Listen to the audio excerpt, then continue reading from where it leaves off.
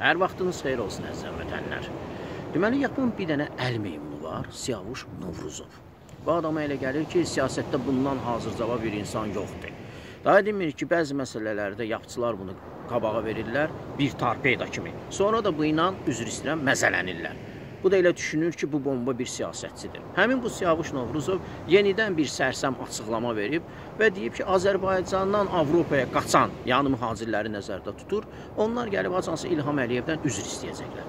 Mən başa düşə bilmirəm. Diktaturadan, avtoritar rejimdən, İlham Əliyevin apardığı siyasətdən qaçan insanlar gəlib İlham Əliyevdən niyə üzr istəməlidir ki? Əksinə mən düşünürəm ki, İlham Əliyev bizim xalqımızdan, vətəndaşlarımızdan üzr istəməlidirlər. İndi bəziləriniz deyəcək, niyə? Mən sizi üçün xırdalayım. Deməli, İlham Əliyev bu yaxınlarda turnikdə 17 dənə çəkinib, 17 dəfə güc nümayiş etdirir. Deyir, yəni mən fiziki cəhətdən sağlamam. Atalarımız düzdür, deyib ki, sağlam bədəndə sağlam ruh olur sağlam ruhlu insan da əməli salih insan olmalıdır. Amma İlham Əliyev bütün günü yalan danışır. Bu adamın dedikləri ilə əməlləri düz gəlmir. Yəni əməli salih adam deyil. Bunun nəfəsi yalanla gedir, qayıtmır. Bu yalan danışmaq üzrə Guinness rekordlar kitabına belə düşə bilər. Yəni bu insan əməli salih adam deyil.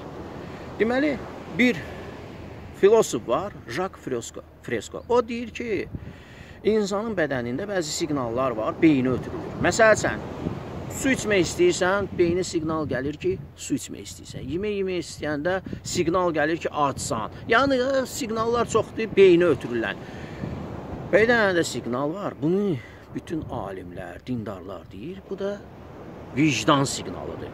Deməli, insan hansısa bir işi görmək istəyəndə, hansısa bir əməli Həmin bu vicdan siqnalı ona deyir ki, bu haramdır, bu günahdır, bunu etsən bəzi insanlara ziyan verə bilərsən. Yəni, vicdanı olan insanlar bəzi əməllərdən çəkinirlər. Baxın, bütün Qafqazın şeyxi var. Allah şükür Paşazadə.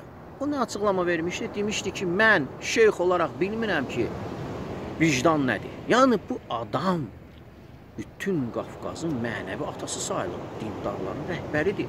Bu adam əgər vicdanın nə olduğunu bilmirsə, onun prezidenti İlham Əliyev ümumiyyətlə bilmir vicdanın nə olduğunu. Yəni bu insanlar vicdansız insanlardır. Əgər bunlarda vicdan olsaydı, bu qədər Azərbaycanda haqsızlıq, ədalətsizlik baş alıb getməzdi. İnsanlar təqib olunmazdı. Heç bir günahı olmayan insanlar şərlənərək həbs edilməzdi. Repressiyalara məruz qalmazdılar. Baxın, heç bir günahları olmayan bizim hərbiçilərimiz 1767 nəfər amansız vəhşiliklə qətlə yetirilib. Vicdanı olan rəhbərin ölkəsində bunlar baş verərmi? Xeyr. Digər bir məsələ. İlham Əliyev fiziki cəhətdən, həm də siyasi baxımdan deyir ki, mən güclüyəm, mənim üçün yəni bir siyasət olaraq, siyasətçi olaraq heç kim məğlub edə bilməz. Azərbaycanda hal-hazırda ən güclü siyasətçi mənəm. Amma adam başa düşmür ki, məğlub edilməz adam yoxdur. Gec-tez kimsə kimisə məğlub edir. Yeganə məğlub olunmaz adamlar odur ki, öz nəfsini ram edir. Nəfsinə sahib çıxır, qalib gəlir. Bəli, bunlar da güclü insanlar. İlham Əliyev isə öz nəfsinə sahib çıxa bilirmi? Xeyr. Görün Azərbaycana, Azərbaycan vətəndaşlarına məxsus olan təbii sərvətləri göyə uçuraraq talan edib aparıb özünə Avropada və digər ölkələrdə mülkanələr, bizneslər qurur, milyardları göyə sovurur. Amma Azərbaycan xalqını bir tikə çörəyə möhtac qoyub, insanları çörəklə sınağa çəkir. Bu adam bir mənəvi cəhətdən, bir vicdan baxımından Layiqdirmi Azərbaycanın prezidenti olmaq? Xeyr, yəni bu adamlar haramzadələrdir. Düz deyə, yenə də deyirəm, üzr istəmək böyüklüyün, insanlığın, müdürlüyün əlamətidir.